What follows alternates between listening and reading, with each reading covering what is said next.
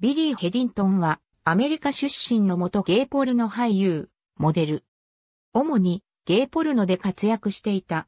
身長185センチメートル、体重111キログラム。後述のようにニコニコ動画を中心とした日本のインターネットで人気を博し、たびたび訪日していた。日本での愛称はガチムチの兄貴、ビリー兄貴、または単に兄貴である。琉球空手師範の祖父と父のもと、ニューヨーク州ロングアイランドで育つ。ボクシングやレスリング、マーシャルアーツといった様々な格闘技に興味を持ったが、彼が本格的にボディビルディングを始めたのはニューヨークに移住した24歳の時であった。彼のポルノ活動は当時彼と交際していた彼女が勝手にプレイガールに彼の裸の写真を何枚か送った時から始まった。写真はリアルメンオブザマンスを受賞。彼は賞金500ドルを手にすることとなる。これらの写真がきっかけで写真家ジム・フレンチが写真を郵送した彼の交際相手と接触2年の期間を挟み、フレンチの下でコルトからカレンダーを発売した。その後は1990年代後半を代表するポルノ俳優として活躍、その知名度によってリッキー・レイクのトークショーにも出演することとなる。トークショーでは女性とのお見合いコーナーが設けられていたが、彼自身はアダルト業界が私の問題を解決してくれたと述べていた。また、ある雑誌のインタビューでは、自分にはガールフレンドとボーイフレンドがいると述べるあたり、彼のセクシュアリティはバイセクシュアルであるとされる。2000年以降は活躍の場をポルノ映画以外にも広げている。彼の出演する代表的な映画として、デンマークのラース・フォントリアーがプロデュースし、アフターウェディングやドッグビルを制作したゼントロッパ社から発売されたホトマンクルボーイスなどがある。2002年の秋に男児ができたことをきっかけに、ポルノ俳優を引退。引退後は建築業に従事していたが、定期的にアメリカ内のゲイクラブでストリップショーにも出演していた。2007年の夏頃から動画投稿サイトニコニコ動画で彼の出演作品ワークアウトザ・ディレクターズ・カットの一部、また、これを素材としたマッドムービーが頻繁にランキングに登場し始めた。当初は釣り目的とみなされていたが、動画、本格的ガチムチパンツレスリングが約2ヶ月間で14万回以上再生され、ガチムチ兄貴としてその知名度を上昇させた。初期には性的表現を含む動画として運営者に削除されることもあったが、次第にゲイポルの独特の演出が下ネタとして受け入れられたことや、彼と共演者たちとの会話が日本語に聞こえるという、いわゆる空耳等で反響を呼び、コンピュータ情報誌、Windows 10 0%に取り上げられるなど、インターネット文化として定着した。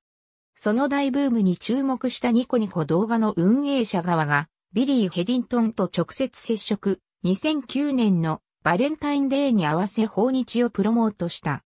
なお、ヘリントン本人もニコニコ動画において自身のビデオが話題になっていることを知っており、2008年12月4日に行われたニコニコ大会議、冬では自己名義の花輪を寄贈。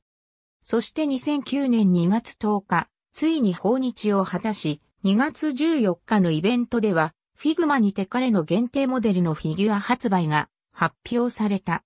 なお、イベントの最中に、初めてだけど、最後じゃないと言い、再訪日すると宣言した。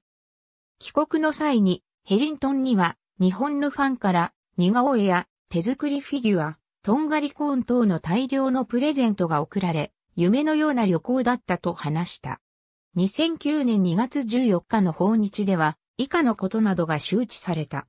その後、2009年3月19日に行われた第9回国際ニコニコ映画祭イン沖縄にも出演した。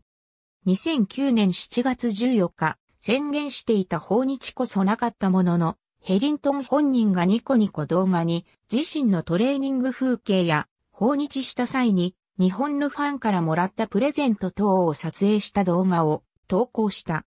2009年7月にはフィグマシリーズの一つとしてアクションフィギュア化。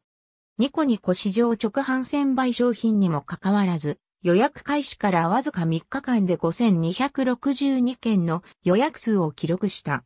後に、付属品の異なるバースデーバージョン、ハロウィンバージョン、クリスマスニューイヤーバージョンも発売。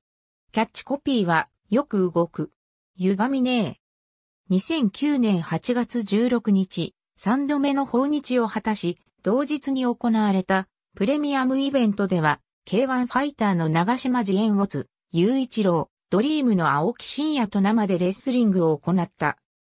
2011年12月12日、自身が投稿した動画、ハッピーバースデーニコニーコにて2012年4月28日と4月29日に開催予定のニコニコ超会議2012に参加することが発表され、4度目の訪日となった。ニコニコの公式送迎車で空港から宿泊先への送迎を生中継、ビリーブルートキャンプとしてユーザーから隊員を公募し会場を巡るクルーズを行ったり、観客から無差別に3人選びステージ上で公開スパンキングを行うなど、ファンサービスで超会議を盛り上げた。2013年1月15日、ニコファーレで開催されたニコニコ超会議に発表会からあと102日、超会議2のブース企画超パ、2ゲスト発表。にて2013年4月27日と4月28日に開催予定のニコニコ超会議2に参加することが発表された。これが生前最後の訪日となった。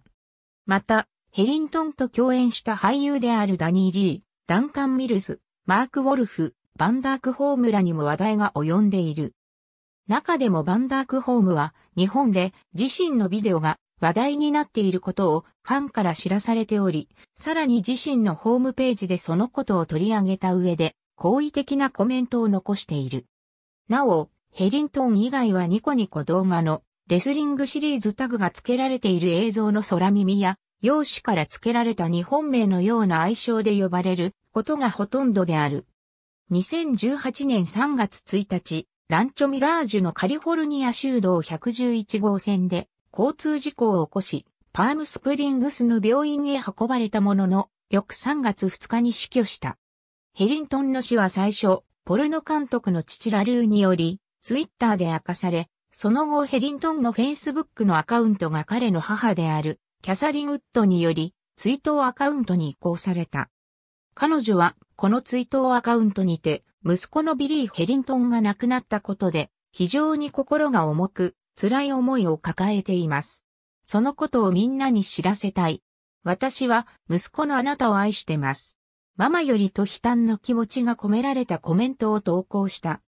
さらに、ニコニコ動画のレスリングシリーズの動画には、驚きや追悼のコメントが寄せられ、追悼動画も数多く作られた。